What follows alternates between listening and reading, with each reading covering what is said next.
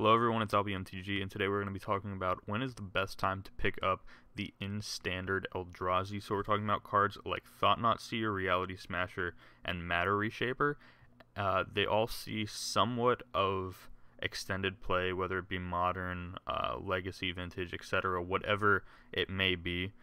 Um, they all have eternal playability to them, which is going to mean that they are solid pickups for in standard because they're going to hold their value. It's just a matter of when is the best time to actually pick them up.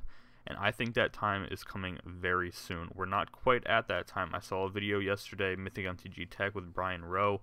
Absolutely love his channel, but he said that right now is probably the best time to pick up the Eldrazi.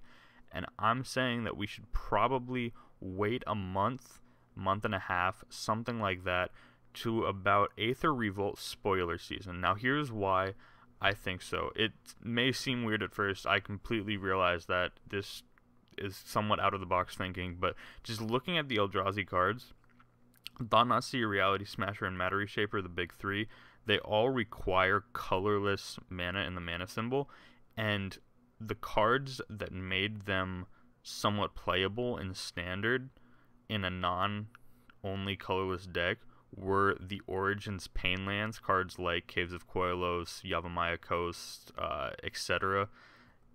Um, those cards are rotating out. And with those cards rotating out, there's no other good sources of colorless mana in the format currently, except for four cards that I'm going to talk about. So, I believe that we're probably not going to see anything in Kaladesh and that's when the Eldrazi prices are going to go down. Um, and then towards Aether Revolt, I would assume we get some sort of uh, colorless producing land that does something good enough to bring the Eldrazi back for another month before they rotate, or another two months, whatever it is. Um, so I believe that if the Eldrazi are somehow going to work in Kaladesh before Aether Revolt comes out, it's going to be because of these four lands. Uh, first off, we have the Geier Reach Sanitarium, uh, which everyone already knows that this card is good. It sees plays in the Thalia's Lancers decks because it's a legendary land. Uh, it sees play in uh, Thermo Thing and um, decks like that. Next is Mirrorpool. I'm not 100% sure how I feel about this one, but being able to create a copy of, you know, your Reality Smasher seems pretty good. So I feel like Mirrorpool could have some potential in keeping the Eldrazi alive. Uh, next is Sea Gate Wreckage. I mean, it's okay. It's not amazing, but it's a solid colorless producing land. Uh, and then finally, a card that I think is somewhat underrated if the Eldrazi are a thing um, after rotation is the Ruins of Oran Rief. I've seen some decks running it. Uh, there was a mono black Eldrazi deck that somebody at my store ran, uh, and it ran copies of the Ruins of Oran Rief, and it was actually surprisingly painful to play against once there was multiple Ruins of Oran Rief out on the table at the same time. Things got very difficult.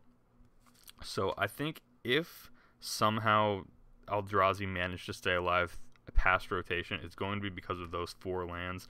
And again, we don't know what's coming out in Kaladesh yet. We haven't seen any spoilers other than one. So there could easily be something that completely blows this idea out of the water and Eldrazi becomes super playable and their prices are going to skyrocket. I just don't think that that's going to happen. I think you're going to see prices drop by at least a dollar on each card. Thought-Knot will probably will probably go down to about five dollars. Um, Matter Reshaper will probably go da- back down to about two dollars after its small little price spike that it saw. So I think best time to pick up um, the Eldrazi, definitely Aether Revolt spoiler season right before the first few cards get spoiled is when I would pick them up for eternal playability. Thank you guys for watching. Be sure to like, subscribe for more, and uh, I'll see you guys next time. Peace.